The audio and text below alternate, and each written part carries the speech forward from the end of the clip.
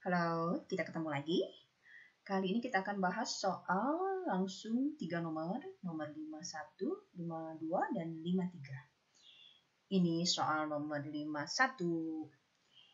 Impor mobil buatan Korea Selatan oleh Indonesia akan meningkat bila A.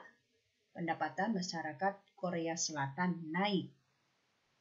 Kita langsung bahas saja supaya cepat impor mobil buatan Korea Selatan oleh Indonesia akan meningkat bila pendapatan masyarakat Korea Selatan naik. Jawaban yang tidak tepat ya, jadi tidak ada hubungan antara impor Indonesia dengan pendapatan masyarakat Korea. Jawaban A kita abaikan. Kemudian jawaban B dan C ini se, se ya berhubungan. B bila pendapatan masyarakat Indonesia naik, C. Bila pendapatan masyarakat Indonesia turun. Kalau kita logikakan, impor mobil Korea Selatan oleh Indonesia akan meningkat, pastilah karena pendapatan masyarakat Indonesia naik, bukan karena pendapatan masyarakat Indonesia turun. Jadi jawaban B ini betul, tapi kita tidak salah juga kalau bahas yang D sama E. Impor mobil buatan Korea Selatan oleh Indonesia akan meningkat bila rupiah terdepresiasi terhadap won. Terdepresiasi itu adalah turun. Ini depresiasi itu penurunan nilai mata uang suatu negara terhadap mata uang asing. Jadi kalau rupiah terdepresiasi terhadap won, berarti rupiah nilainya turun terhadap won. Kalau rupiah nilainya turun terhadap won, berarti harga mobil Korea Selatan tentu jauh lebih mahal dibanding sebelumnya. Dan itu tidak mungkin mengakibatkan impor mobil buatan Korea oleh Indonesia akan meningkat, justru akan turun. Jadi jawaban D itu salah. Kemudian yang E, terjadi inflasi di Korea Selatan. Kalau Korea Selatan terjadi inflasi, otomatis barang-barang di Korea Selatan akan mahal, meningkat harganya, termasuk mobil. Itu artinya kalau Korea inflasi berarti mobil buatan Korea semakin mahal buat Indonesia dan itu akan mengakibatkan impor turun bukan meningkat. Jadi jawabannya adalah yang B. Jelas? Kita, oh ya, inflasi itu apa? Mungkin ada yang bertanya, inflasi adalah keadaan perekonomian yang menunjukkan kenaikan harga-harga barang secara umum dan terus-menerus. Intinya harga-harga naik, itu inflasi.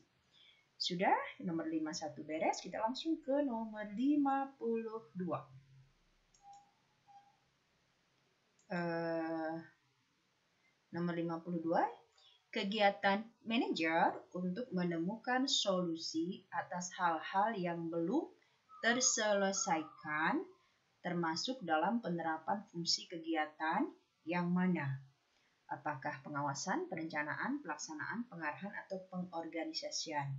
Jadi kita bahas sekarang, apakah menemukan solusi atas hal-hal yang belum terselesaikan itu masuk yang uh, yang mana yang paling tepat di antara kelima ini? A. Apakah masuk ke pengawasan atau controlling? Kita lihat di sini. Controlling atau controlling pengawasan adalah kegiatan menilai suatu kinerja berdasarkan pada standar yang sudah dibuat serta melakukan perubahan atau perbaikan bila dibutuhkan. Kegiatan dalam controlling di antaranya adalah satu mengevaluasi keberhasilan dan seterusnya sesuai indikator yang sudah ditetapkan. Kemudian yang kedua, melakukan langkah klarifikasi serta koreksi atas terjadinya penyimpangan yang ditemukan.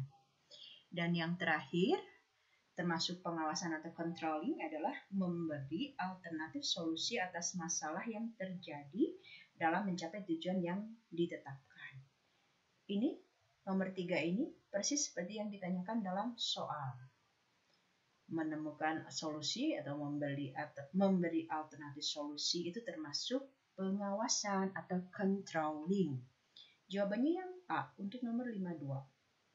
Terakhir, kita langsung ke nomor 53. Nomor 53 ini soal yang mudah ya. Tapi tidak tidak boleh kita bahas. Berikut adalah prinsip penyelenggaraan koperasi kecuali Kita lihat di sini prinsip penyelenggaraan koperasi ada 7 sesuai Undang-Undang 25 nomor 92. Yang pertama sampai ke 7 bisa dilihat di sini. Kita lihat di sini mana yang bukan prinsip penyelenggaraan koperasi. Nomor A, keanggotaan bersifat sukarela dan terbuka ada di sini. B, pengelolaan dilakukan secara demokratis ada di sini. C. Pembagian SHU dilakukan secara adil dan sebanding dengan besarnya jasa usaha masing-masing anggota. Ada di sini nomor 3. Nomor E. Kerjasama antar koperasi ada di sini. Nomor 7 ya. Nah, yang D ini kalimatnya pemberian balas jasa tidak hanya terbatas pada modal yang disetor. Sedangkan di sini yang kalimat yang betul dan lengkapnya adalah pemberian balas jasa yang terbatas terhadap modal. Jadi, kecuali yang D. Terima kasih atas perhatiannya. Oke, selamat belajar.